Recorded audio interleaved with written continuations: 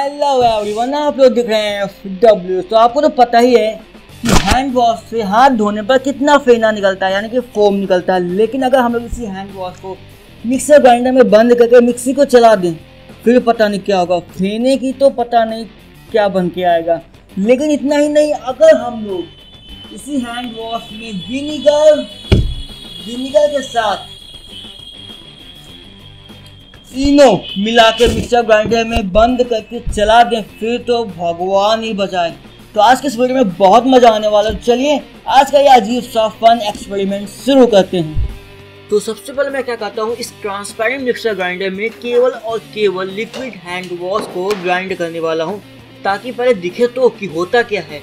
केवल और केवल लिक्विड हैंड वॉश को ग्राइंड करने पर। तो यहाँ पे मैं नए पैकेट से यूज़ नहीं कर रहा हूँ, क्योंकि मेरे पास पहले से ही घर में कई बोतलों में भरा रखा हुआ है। तो नए पैकेट से क्यों बर्बाद करना? ठीक है? तो एक बोतल खाली कर दिया मैंने और ये दूसरी बोतल। इन दोनों में डेटॉल लिक्विड हैंड वॉश ही। है निकल जा भाई। ये देखो, सर्दियों की वजह से कितना गाढ़ा हो गया है। आपको क्या लगता है? इसे ग्राइंड करने पर फेंकने पर क्या होगा? नहीं पता तो कोई बात नहीं। मैं तो करने ही वाला हूँ। और इसमें तो साफ़ साफ़ दिखेगा भी। तो करते हैं तीन, दो और एक।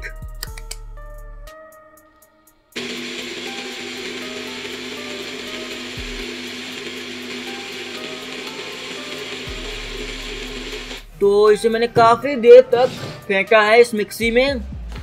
और इसे निकाल के देखते हैं। ओ माय गॉड ये क्या है भाई? देखो तो जरा पास से। ये एकदम स्लाइम जैसा हो गया है।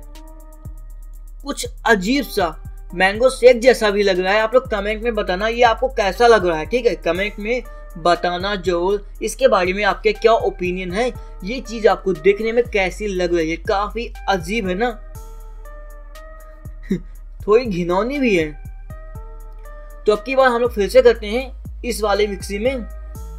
और इसे मैं पूरी तरीके से सील करूँगा, हाथ कस के पकड़े रहूँगा इसके ऊपर से मैं। और इसका भी कोई यूज़ नहीं हुआ।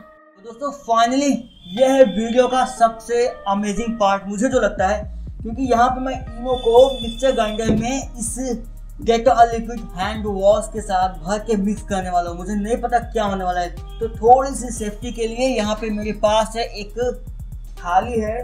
इस पूरे सिस्टम को मैं थाली पे रख लेता हूँ कुछ ऐसे।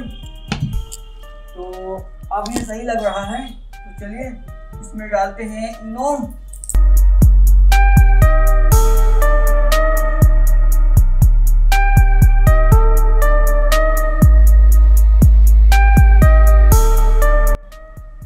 काफ़ी रहेगा। पचास रुपए का इनो पड़ चुका है आधी बोतल।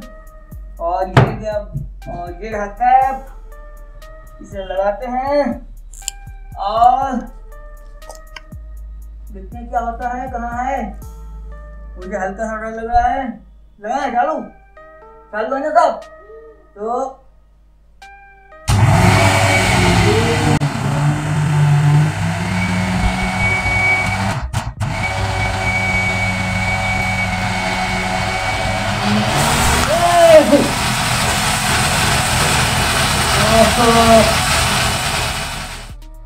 तो दोस्तों, अभी फेना तो निकला था, लेकिन कुछ खास मज़ा नहीं आया।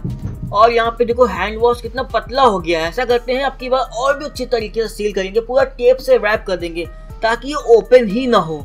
तो यहाँ पे मैं आपकी बार मिस्टर मैजिक हैंड वॉश का यूज़ करूँ क्योंकि पाउडर फॉर्म में होता है। तो आई थिंक पाउडर फॉर्म का हैंड वॉश ज़्यादा सही रहेगा। क्योंकि डेटॉल वाले में कुछ ज़्यादा फेना नहीं बना था जब भी मैंने उसमें इनो डाला। और अब की बार मैंने पानी की बजाय ये विनीगर डाल रहा हूँ ताकि थोड़ा तेज रिएक्शन हो। और मैं इनो को डायरेक्टली नहीं, इस कागज़ वाली टॉवल में लपेट के डालूँगा ताकि तुरंत रिएक्ट ना करे। तो यहाँ पे मैंने इनो के दो पाउच बना लिए हैं। एक और ये दो। अब बहुत मज़ा आएगा, क्योंकि मैं इसे पूरी तरीके से सील करने वाला हूँ कुछ इस तरीके से। तो वीडियो को शेयर ज़रूर से करना। तो दोस्तों, इस बार ये एकदम लास्ट है, मैंने पूरी तरीके से सील कर दिया, मुझे बिल्कुल नहीं आ गया अब क्या होने वाला है। तो चलिए देखते हैं।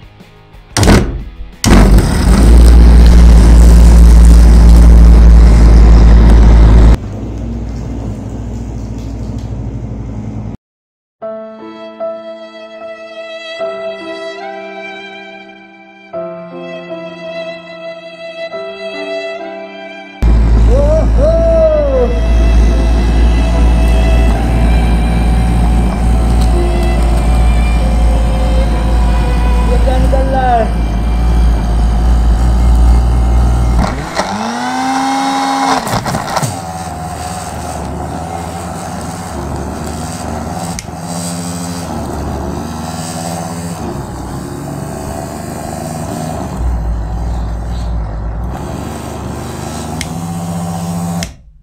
कितना ज़्यादा कचरा हो गया।